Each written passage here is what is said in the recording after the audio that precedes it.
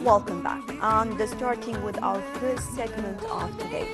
Well, President Abdel Fattah al-Sisi paid tribute on Tuesday to workers in the health sector who were martyred on the jobs and also to those who are still preserving and sacrificing their souls for the sake of this uh, mission to protect Egyptians against the pandemic talking about the healthcare in Egypt and the medical insurance, which is, of course, of vital importance. Over the phone, uh, we have with us uh, Mrs. Rania Leila, Human Development and Behavioral Sciences expert. Hello. Hi. Good morning. Hello. Good morning. Good morning so, to you. Uh, talking, of course, uh, when, whenever it comes about uh, production or leadership, we have to provide better, better environment for workers and employees. And we have, for example, if we are taking uh, Ismailia as an example and the inauguration of the uh, medical uh, complex uh, over there, inaugurated by President Abdel Fattah el-Sisi, and talking about the medical insurance, which is going to extend to three more governorates. Tell me how important it is and its impact on the production and on the uh, employees in general when it comes to human resources?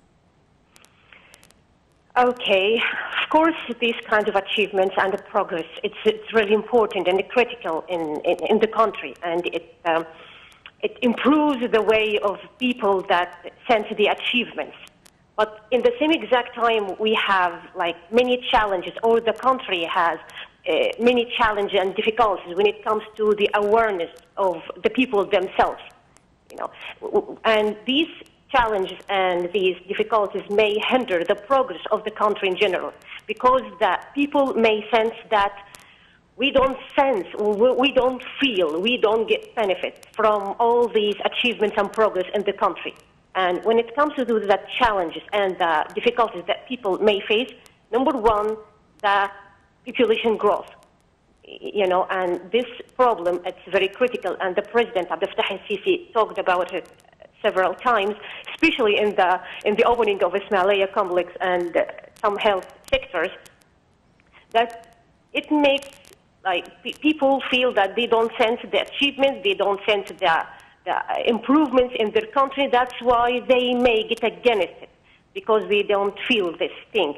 And that's why we need to increase their awareness, increase their, um, yes, increase their awareness, and every one of us take his role to, to make them feel this thing and to talk to our children about it, how to, to improve this thing.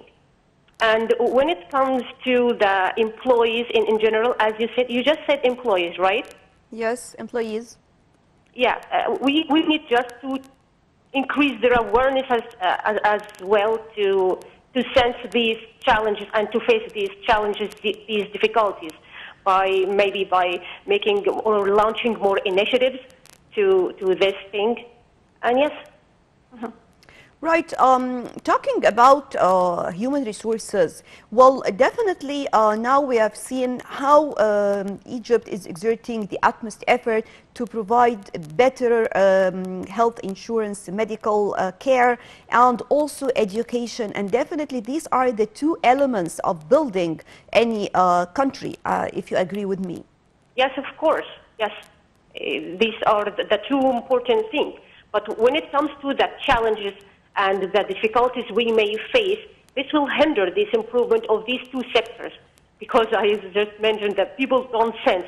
Maybe I am a, as a, as a citizen in this country and put all my money in this country, and I can't sense any improvement or achievement because I have so many children, and I can't uh, like educate them. I can't feed them. I can't maybe make them um, good individuals you know, all these challenges. That's why we need to increase, increase the awareness, increase their, increase their, uh, yes, increase their awareness and launch more initiatives to tell them exactly that if you need to, or if you, if you want to sense all these achievements, or, if you need to go forward and improve yourself, improve your way of, uh, of living, and improve the life of your children, you need to work more and more on your on yourself or work more on how to build a good community, good, family that educate them, feed them, and this will be by like family planning or increase your family planning uh, culture. This is the thing. So, uh, as well as we are talking about um, awareness of people in many challenges that we are facing, as you mentioned, we have seen uh, that women also have been taken care of, uh, especially when it comes to um, health uh, initiatives that uh, are taking place right now. And also, uh, whenever we talk about the family, we have to talk about the woman, the mother, because I believe that if you are uh, just able to reach and access the women and uh, their mentality and how uh, we are talking about health, education, and all what you are talking about, this is going to be one of the most important steps to reach the, the whole society. Yes, of course. You know, women are the pillars of this community, are the pillars of the country. And the President Abdel Fattah el-Sisi, um, you know, has done many things towards women and to empower women and to be a huge part of this uh, community, of this country. And when it comes to uh, political issues, he just, yes, he has many things, or he has done many initiatives to empower women.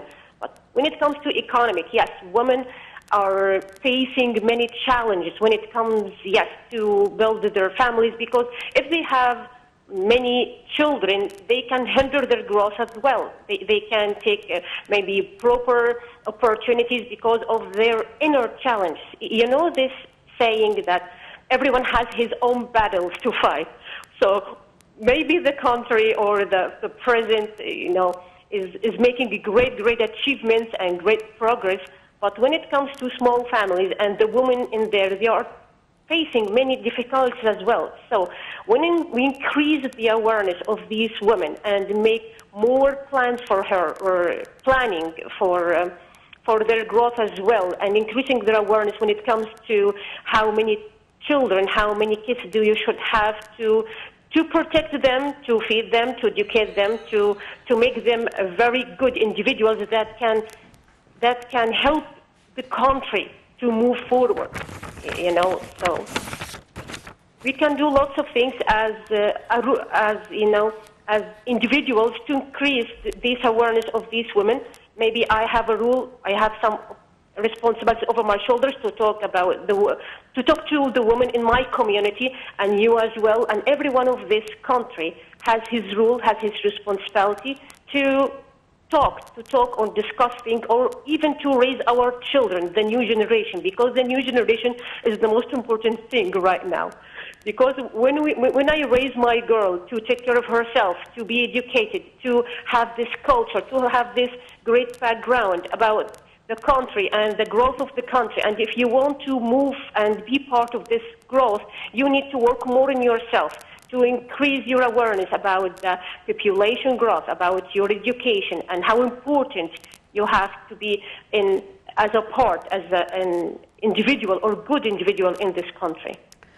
Well, uh, of course, uh, this is of great importance, but also we have to talk about the role of the civil society, because definitely we cannot just ask the government to do everything. This can never be uh, done. So everyone has a role to play, to be uh, active, uh, to has his active role in the society. So what about the civil organizations or the civil society and how can they help in this when it comes to the overpopulation and the awareness of people and reaching how to access people that still media cannot reach in different places?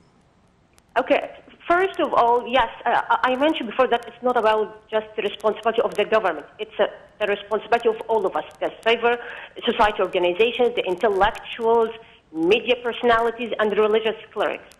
We all must work hard to, to face the, the problems or all these challenges. And when it comes to media, I recall when I was young, these kinds of advertisements that increase the awareness of the people and how they should plan their families more than that. And Maybe this is a huge reason. That's why maybe I'm raising my kids on the same thing and so many other people. And when it comes to the rule of the uh, civil uh, society organizations, yes, they, of course, they have a great responsibility as well as a part of this community. They can launch some initiatives and some launch some programs to reach people, especially in urban and rural areas, because people out there need to know, need to be cultured, need to be educated about this thing and about the consequences of this danger or this problem as well. Because we can maybe now, we, we, some, or we have some problem, we can work on them right now. Maybe if some families have more than three or four or five kids, we can do anything to them. But we can increase their awareness that they should raise their children to not to do this in, in the future or to think in totally different way. Well, health insurance has always been a dream to all Egyptians, and uh, the dream uh, came true. And we started to see this in some governorates. And um, when we have seen uh, people of Ismailia and how they were really very happy with the new medical complex that was inaugurated, serving the people of Ismailia and uh, the health insurance to extend to three more governorates. How do you see the impact of this uh, on uh, people's behavior? and also on their, um, let's say, uh, motivation when it comes to more to production in general? People now sense that there are some kinds of achievements on the ground, and that, and they just see now that we can be heard. People, or the government or the president hear us. He can listen to our requirements. He can listen to our voice. He can listen to our demands and this is a very great thing and has a great and a huge impact on their behaviors as well because this increase that sense of loyalty towards the country. Now I can be heard. Everything I can say, I can be heard. And people will, or the president or the government will hear me, will work for me, will work for my interests and for my interests of families as well. And this, yes, has a very great, huge, positive impact on, on people and their behaviors. Because now I, it, it increases the sense of patriotism you know, it increases the, the, the power in you to work for your country more than ever before.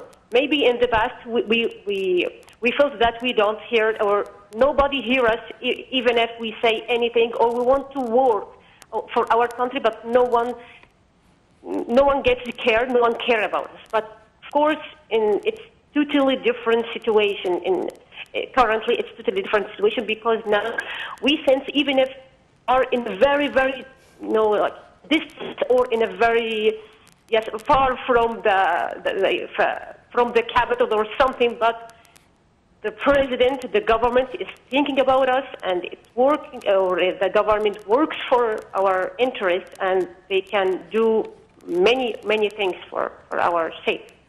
You know, during such um, a challenging uh, period of time, and by talking to many people on the ground, you know, just one can say that nothing can be compared or compensate the feelings of an Egyptian citizen who cannot provide medical treatment for his child, for his daughter, or just being on a waiting list for having an operation, or traveling from one governorate to the other to come to Cairo for uh, seeking medical treatment. So by providing this, definitely this you know, it's something that one can never find some words to express uh, the idea itself and how people feel uh, about having their own. This is a basic need. This is um, one of the main pillars of human rights. Yes, you're right. You know this thing that I can feel you. I can know your, or I know your challenges. I know what you're thinking of. I know your difficulties. And now I will come at your place, your own place, and I will do whatever you want. This sense or this thing, when I feel it in deep inside, for, comes from my country, my government, and my president. It just increases my patriotism and increase my uh, positive sense towards my country as well because now I, I feel that I'm strong enough. I feel that all my, all my challenges gonna be fade away. All my problems can be solved or will be solved very soon. And yes, it, it, it's a great thing. It's a great thing in this era in Egypt. So, how do you see uh, now nowadays um, the awareness uh, of Egyptians in general and um, the workers in particular who are really dedicated to work in such uh, a challenging time and being able to, to protect themselves and uh, never to be stopped? I mean, the capabilities of the Egyptians now, everyone is talking about it worldwide. No one can deny that we are facing very challenging situations when it comes to the coronavirus, and um, and I guess it's not about Egypt, so it's about the whole world. But we need to work more and more, and we'll be hand in hand, hand in hand with ourselves as citizens, hand in hand with our communities, hand in hand with our government and the president as well. Because all these difficulties and challenges are all around the world, and when it comes to Egypt, yes, we have this aware that Egypt now it's different, totally different from the past. So now it's it has or there are some achievements, there are some progress on the ground. We sense this, and to face all the other problems when it comes to the whole world or when it comes to the pandemic, we need to work hand in hand. I guess people just are doing this right now. Yes, of course, there are some sectors or not some segments of people are still not, very aware of this, but the civil societies and we are as intellectuals or we are as individuals can reach each other and can talk things each other and can increase the awareness of each other. And of course, raising, we can't forget that we, we raise our children to, to, to be better individuals in the future. I also believe that including uh, the youth to participate in uh, this important, I will say, let's put it as a project, uh, to, because this is definitely the goal of all Egyptians, will help a lot. I'm talking about the youth who can reach people and talk to different people in different areas as well, because when they themselves feel um, the problem and they understand that they are the fathers and mothers of the future as well. Yes, yeah. Yes, we need to raise our children to be good mothers and good fathers in the future and to increase their awareness that eh, it's your country. Your country, you need to work for yourself, you need to work for your family, for your community, and then for your country. And uh, yeah.